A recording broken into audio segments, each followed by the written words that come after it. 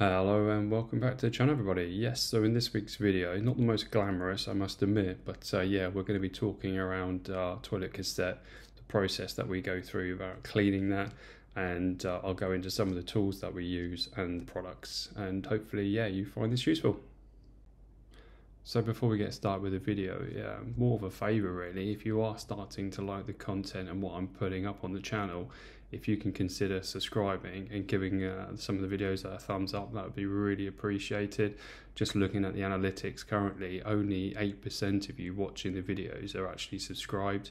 Um, so yeah, to, to really help uh, the channel grow, I, I, really need some support from you guys. So if you can consider, like I say, giving the, some of the videos thumbs up um, and subscribing, yeah, I would really appreciate that. But uh, yeah, we'll get cracking and on with the video. So when it's come to the, the products and the tools that we've used to get this job done, yeah, you're probably going to want some gloves, uh, a non-scratch, but again, doesn't need to be non-scratch scourer, a bit of uh, kitchen roll, washing up liquid, a bit of the silicone spray, and again, that's the stuff that we've used on previous videos around the actual seals of the windows.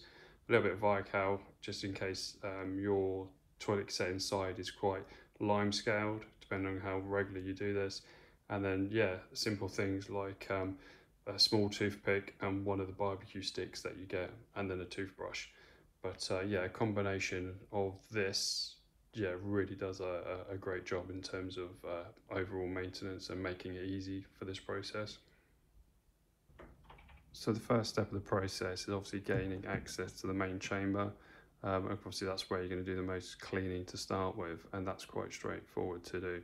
Uh, it's just a case of removing this panel, putting that to one side and then what you'll have here is you'll have this little triangle mark aimed at this circle here which is the position that you would normally be regularly seeing and, and used to. And where you want to move this triangle to is this next circle here. And again it's quite straightforward to do. You just use something sort of an inch and a half by sort of 30, 40 centimeters, just so again you can put it in this position here and rest it on these two marks. And then you're able then just to turn it. And then obviously you want to get it. So then the circle is then aiming at this other circle, which is then allowing this to be in its unlocked position. And then this will allow you to access the inner chamber and you can just lift this up out the way. So when it comes to the inside, all we use is warm soapy water. That's that's the only product really we use for in here. Again, we use the scourer, um, the toothpicks, toothbrush, um, just to go around the, the corners. Um, but again, it's entirely up to you how long you spend on this process. But um, yeah, as long as you sort of do this on a regular basis, this shouldn't take too long. But um, just allow it to soak as well. Um, again, it, don't just expect it to be instant on a lot of this. If you want to get uh, to a lot of the corners and stuff, uh, again, just let that warm soapy water just sort of do its bit. Um, and then you'll find when you're using the sticks and the other toothbrush, uh, scourer, it'll come away really easy. So one of the other key areas where, which is quite often missed, um, is the actual float that is located in the toilet, which is just under this bit here and does just pop out. Um, and this is crucial for a number of reasons. Obviously, one, obviously when it gets to the right level, it indicates to the toilet, uh, makes a connection, and obviously puts the light on inside to tell you that it's full. Um, so again, you need to make sure that there's no sort of toilet paper, because again, quite often it'll be stuck on this and it'll stop that motion of floating up.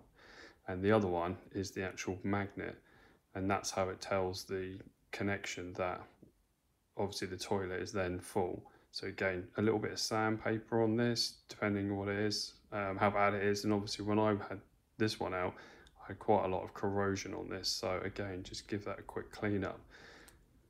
On one of the products that I did use on this is the Viakal, because this did have quite a lot of lime scale on it. To, so to be able to really bring it back up like new, that's what I've used on this. But that's the only part I've really used a lot um, Viakal on because again you need to be careful what you are using um, product wise certainly within this space but um, yeah just unclips it's held on by these two sort of um, bits here and again once you've got some warm soapy water and you've got it swishing around up here, get some on this, and this will make it really easy for this just to pop out. But yeah, one of the crucial bits that don't miss this process of making sure that this is clean.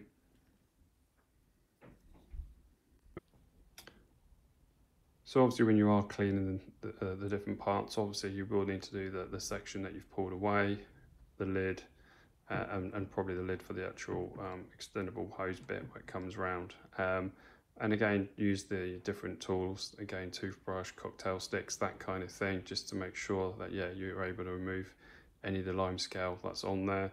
And again, just allow this to probably soak for 20 minutes, half an hour, just so again, just to make it easier. But again, entirely up to you how long you spend on this um, in, in, terms of how how new you want this to look at the end of it.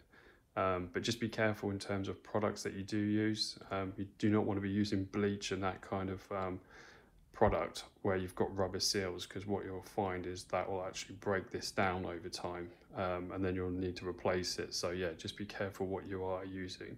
And like I said, all I've used is warm soapy water um, on all on the majority of this. So um, yeah, once you've uh, cleaned it to the standard that you want, um, uh, obviously use a bit of paper towel just to dry it all out um, and then you'll be able to see once it's in a, a dry condition uh, the actual true state of play. Um, if you're happy with that then you can sort of move on to the actual silicone part and that's just applying some of this to the actual rubber seals um, and the seal here as well that goes around to obviously lock that in. But again, like I said, this is just the stuff that we've used on the window seals as well. Um, and yeah, you just want to keep this in top shape. So again, yeah, just spray it in uh, and obviously with your gloves on, just work the silicone in and underneath. Um, this does come off quite simple. So again, you can really get that sort of worked in your hand. Just put a bit of spray in your hand and then just run it through. Uh, and then, um, yeah, that should be it. But uh, yeah, and again, another crucial step is making sure that you are lubricating these. Don't step that, I forget to do that part. When it comes to these rubber seals, obviously you got, these are your two main ones, but they are changeable. So again, if you find that when you're going to empty your cassette and there is a trail behind you or it's starting to leak um, in any of these areas, again, you can uh, yeah purchase replacement seals and again it's very straightforward to just put them back in again so um, yeah I'll leave a link in the description below if you need to go down that route. The other bit where I've used the silicone spray is actually on the plastic itself all the way around. Yes, I know it's only a toilet cassette, but um, it really does sort of give that new look back to it again um, before, like I say, you get to a really sort of faded grey. Um, but yeah, you've probably still got um, a load of access on the, the cloth that you're using. Um, but again, yeah, just a little tiny spray here and there, and then just run it all the way around. And once it's all dried up, again, it just puts a, a nice darker sh shine on it. Um, but um, yeah, like I say, that's a, an optional step really, if that's something you want to do. One of the last items that's often forgotten also is your handle and again good just to put a little bit of oil or silicone spray which is what I've used in this case. Um, and just yeah just run it along the actual main frame of the handle pull it out and then once you've got some on there just go up and down a number of times just so again that silicone spray can actually work its way in just to make sure that that handle just extends really freely. So that's the cassette back together. The float is back in um, and just make sure that that does go up and down still with your fingers. Um, obviously this is now being locked back into place and obviously you just need to make sure that you've got the triangle lined up in this position before pushing that down and then slowly putting that back into place. You've got your lid.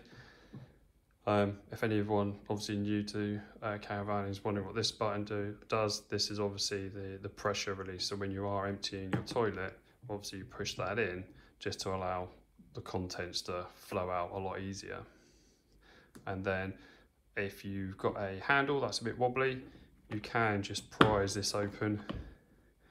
And what you have got to, is two screws and you can just tighten those back up again. That's if you've got a, a loose handle. Um, but um, yeah that should be the, the majority. Once it's all back together it should sort of almost look as good as new